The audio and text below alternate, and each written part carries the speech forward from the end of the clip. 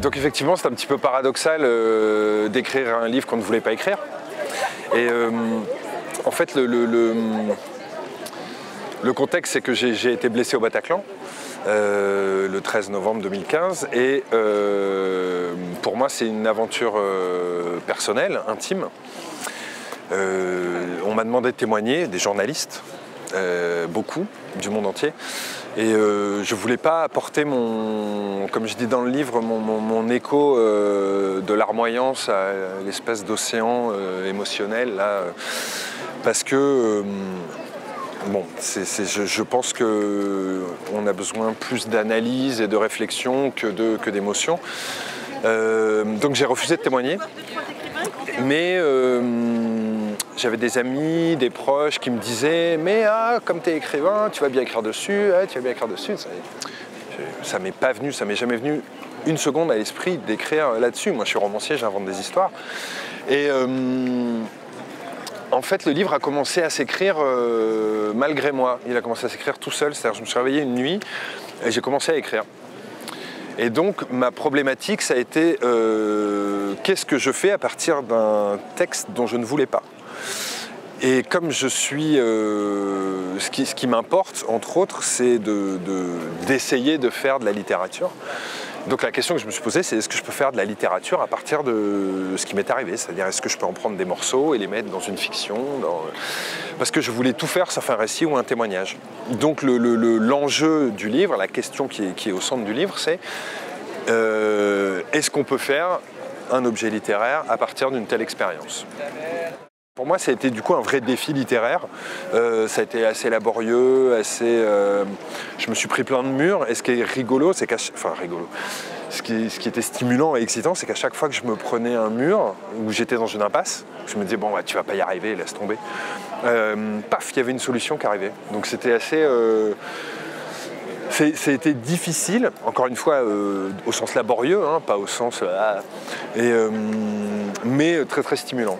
Je me suis retrouvé euh, à écrire au début à la première personne du singulier et euh, ça me dérangeait quoi. J'ai trouvé ça, euh, je sais pas, dérangeant, déplacé, nombriliste.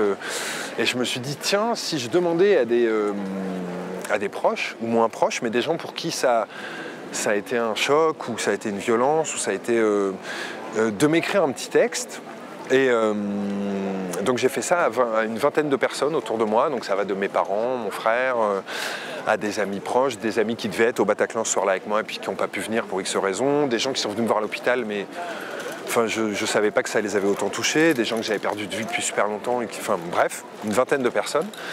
Et je ne savais pas si j'allais utiliser ces textes. Je, leur ai demandé, pour vous, Erwan au Bataclan, c'était quoi? En 10 000 signes, grosso modo, et sans essayer de faire de littérature, juste... Euh, et euh, je ne savais pas ce que j'allais faire de ces textes. Franchement, je leur ai dit, je ne sais pas si je vais les utiliser. C'était encore très flou tout ça. Et j'ai reçu le premier deux jours après. C'était, euh, il était tellement beau et tellement fort. Je me suis dit, ah, ça va peut-être me servir.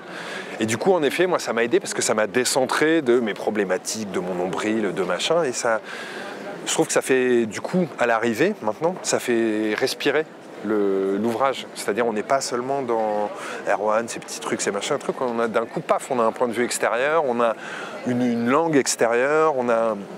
Donc voilà. Il y, a, aussi, oui, effectivement, des textes de. je crois qu'il y en a 14. En fait, l'événement, c'est la portée qu'il a pour moi et ce qu'il a. Euh, ça me regarde moi. C'est du personnel, c'est de l'intime, c'est ma vie. C'est ma vie de Erwan Larère, citoyen, Erwan Larère, individu, Erwan Larère, romancier. C'est pas ça dont il veut parler, et c'est pas ça qui est intéressant. Euh, ce qui est intéressant, c'est euh, quand il arrive quelque chose de si euh, violent, d'aussi brutal, de si, mais qui, ne m'arrive pas qu'à moi. En fait, c'est ça qui a été le déclic et où je me suis permis de continuer, c'est que ça ne m'est pas arrivé qu'à moi, le Bataclan. C'est collectif, tout le monde a été touché, tout le monde a été choqué. Si ça avait été genre un accident de la route très grave qui me touche que moi, j'aurais pas fait de livre parce que ça ne m'aurait touché que moi. Et après, peut-être, j'aurais eu de l'empathie de gens à qui c'est déjà arrivé. Mais, euh, le Bataclan, ça va au-delà euh, des victimes, au-delà des blessés, au-delà des gens qui y étaient. Enfin, il y a une portée politique, il y a une portée euh, collective, il y a une portée. À un moment, je me suis rendu compte que, j'étais non seulement dans une aventure intime, mais dans une aventure collective. Et là, je me suis dit, ouais, t'es romancier. Euh, être romancier, c'est quand même questionner le monde. Pour moi, en tout cas, hein, c'est pas seulement euh, dire. C'est et donc là, oui, effectivement, peut-être que tu peux amener quelque chose. Pas comme sociologue, pas comme témoin, pas comme philosophe, pas comme victime, comme romancier. C'est-à-dire comme quelqu'un qui travaille la langue et qui questionne le monde à travers la langue et à travers une narration. Et mon problème, c'est que là, la narration, je n'en étais pas maître. C'est ça qui m'a posé problème, c'est que j'avais pas décidé de ce qui s'était passé, quand ça s'était passé, qui était impliqué. C'était pas mes personnages, c'était pas. Donc du coup, euh, j'ai amené mes personnages à l'intérieur. C'est-à-dire que hein, je fais parler, enfin je fais parler, oui, je me mets à la place d'assaillants dans le livre, mais qui ne sont pas forcément ceux euh, du Bataclan, parce que moi je ne sais rien sur eux, j'ai pas été me renseigner, je ne connais pas leur nom.